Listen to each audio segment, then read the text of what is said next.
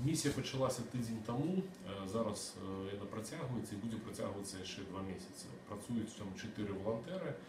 Е, Зараз це наші активісти проборчого центру весна, але ми будемо долучати і активісту, волонтеру з інших організацій правоохорончих.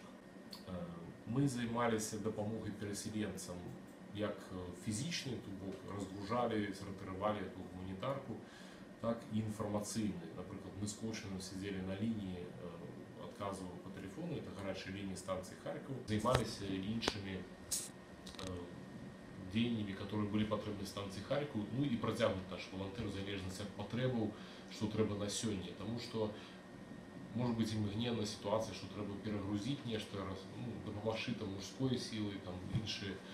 Е, Ці треба буде допомагати далі на ось цій гарячій лінії. От зараз там менше телефонування, вже ця програма закінчилася, але треба підміняти людей. Насамперед, вельми потрібна допомога таких організацій заміжних, коли б вони набували е, памперси дитячі, памперси для інвалідів, памперси для дорослих, е, дитячу білізну, вопратку дитячу, воски, ну, все, что завгодно, и отправляли это на станцию Харьков, это была реальная допомога для переселенців. Потому що багато людей знаходяться в такому стані, е, скажімо так, трошки ну, нервовим. Да. бо Насамперед бачно, що їх є проблеми, то їх там маленькі діти, їх там мамаль нема грошей, допомоги. Так само наші люди ходять по цих собесах районних і глядять, як вони працюють, опитують переселенців, які отримують там допомогу, наскільки це якісна допомога.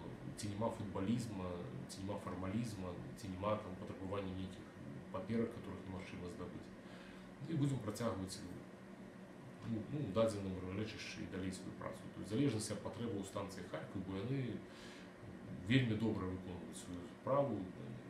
Команда, скажімо так, вельми е, добрих е, і мотивованих людей, які зорієнтовані ну, просто людям допомогти.